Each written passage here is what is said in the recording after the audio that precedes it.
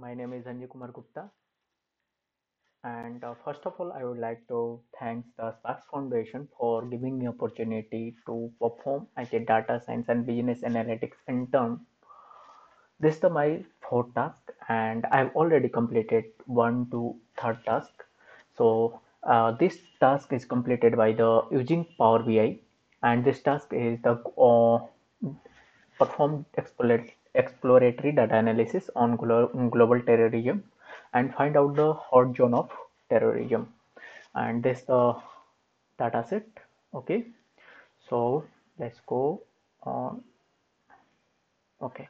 This is the my task okay. First of all i filter some important column from the uh, global terrorism uh, data set. And this is the nine column for me which is uh, important okay.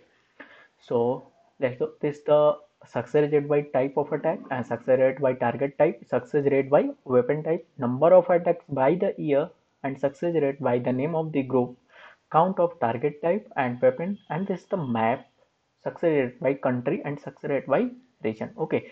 Now we can see uh, fill any country just like uh, Pakistan. Okay this is the Pakistan. And you can see bombing 100% target type police and weapon type explosive 100% count of target 111 and what is the year?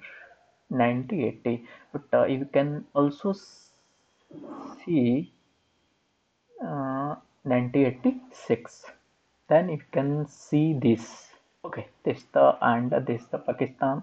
You can zoom it. Okay. So this is the my for for fourth task. And for uh, please evaluate this. Thanks